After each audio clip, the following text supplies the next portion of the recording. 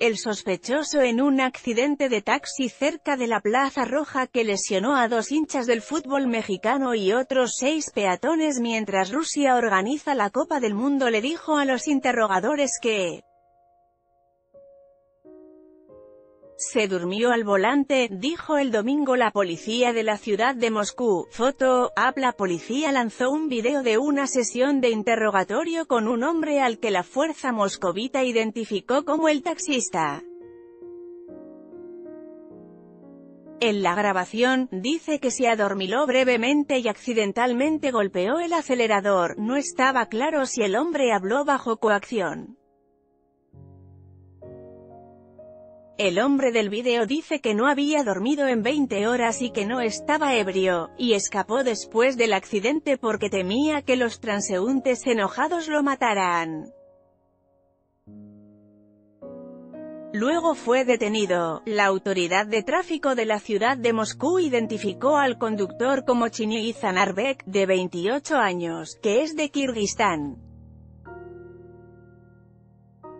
En declaraciones a The Associated Press desde la ciudad de Mura Sordo en Kirguistán, el hermano mayor de Anarbek dijo que solo había trabajado como taxista durante un mes. Dijo que su hermano estaba en estrés, conmoción, horror, después de lo sucedido, deja que la gente diga lo que quiere, pero mi hermano está limpio, no culpable. Nunca fue y nunca podría ser un terrorista, dijo Almazbek Anarbek. El joven Anarbek ganó una medalla de bronce el año pasado en el Campeonato Mundial de Pancration, un antiguo deporte que combina habilidades de boxeo y lucha libre. Los videos que circulan en las redes sociales rusas y en algunos sitios web de noticias después del incidente mostraron que el taxi se desvió hacia la acera el sábado y golpeó a los peatones. El accidente tuvo lugar en la calle Ilinka, a unos 200 metros de la Plaza Roja y la famosa galería comercial GAM de Moscú, una zona popular entre los turistas. Victoria Yeranovich, que trabaja cerca y filmó al conductor que huía en su teléfono, describió su conmoción. Russian taxi driver that ran over people in Russia including Mexico supporters got stopped by Mexico fans.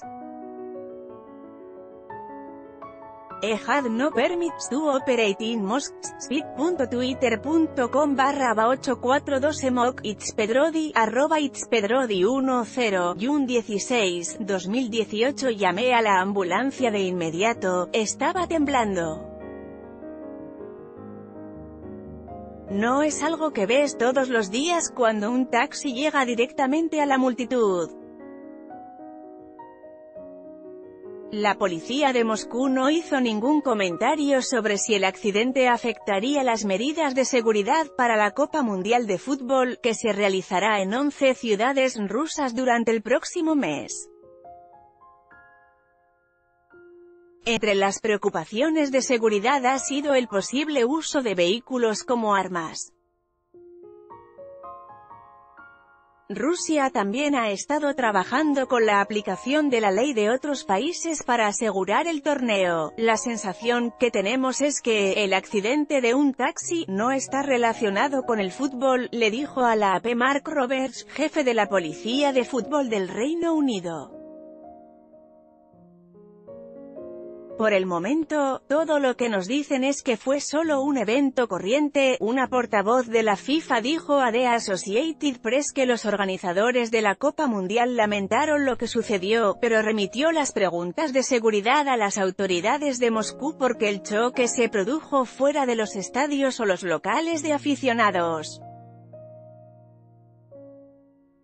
La portavoz que no estaba autorizada para ser públicamente nombrada, dijo que los organizadores de la Copa Mundial estaban en contacto regular con las autoridades locales en materia de seguridad.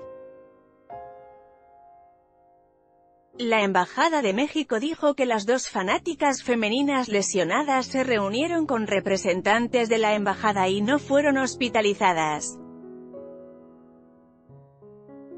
La selección nacional de fútbol juega contra Alemania el domingo en Moscú. Foto, Apple jefe del Departamento de Salud de Moscú, Alexei Kripun, fue citado por la agencia de noticias RIA Novosti diciendo que los otros heridos estaban en condiciones satisfactorias. Tres rusos permanecieron hospitalizados el domingo, pero se esperaba que fueran dados de alta en los próximos días, dijo Kripun. Los fanáticos del fútbol internacional en Moscú compartieron información sobre el choque, pero no parecieron dejar que esto disminuyera su entusiasmo. Es bastante horrible que algo así haya sucedido, dijo el defensor mexicano Julio Domínguez pero, agregó, hay gente loca por todos lados. Su compañero fan Fernando Ibarra dijo, esperamos que nuestros compatriotas estén bien, un gran abrazo a las familias también. ¡Viva México! En esta nota.